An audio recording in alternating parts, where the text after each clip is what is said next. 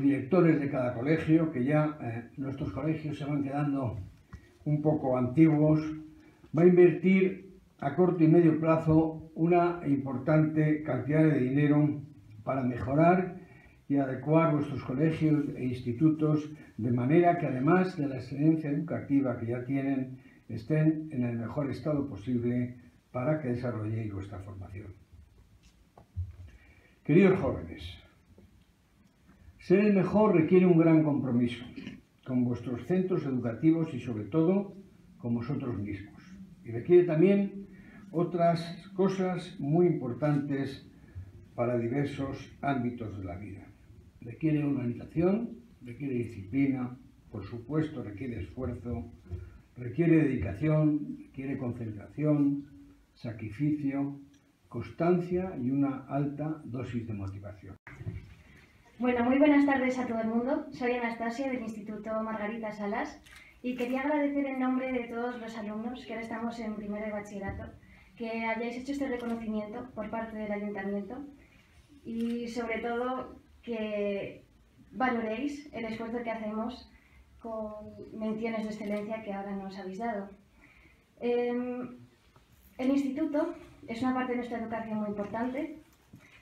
Los que estamos ahora en primero de bachillerato hemos pasado cuatro años, hemos trabajado muchísimo y obviamente con el apoyo de profesores, de directores, que son personas que se han dedicado toda su vida a la enseñanza y creo que eso hay que valorarlo mucho, porque no solo nos han enseñado académicamente, sino que también nos han ayudado a construirnos como personas. Eh, no solo ya las charlas de violencia de género, sobre drogas o alcohol, sino también los valores que nos enseñan en clase, porque a través de los números también se pueden enseñar otras cosas. Em, por otra parte, la familia también es un apoyo muy importante en la vida de un estudiante. Eh, nuestros padres, nuestros hermanos, nuestros primos saben lo mucho que hemos trabajado para llegar hasta aquí. Em, conocen el esfuerzo que hemos hecho durante estos cuatro años. Nos hemos pasado durante los cinco días de la semana casi ocho horas en los institutos y gran parte de nuestra adolescencia la hemos pasado en un instituto. Así que esa parte de la educación es fundamental en una persona. Y los amigos, por supuesto, al igual que la familia, también han tenido un papel muy importante. Y para acabar, me gustaría decir que, aunque somos estudiantes que hayamos sacado 8, 9 y 10, eh, no somos un número, somos personas em, que simplemente han dedicado mucho tiempo al instituto a estudiar y eso ha sido reconocido con 8, 9 y 10, pero no somos ese número, somos personas que, bueno, como ha dicho el alcalde, mm, somos el futuro, los mejores que podemos eh, mejorar de alguna forma el mundo y ser una parte importante de la sociedad.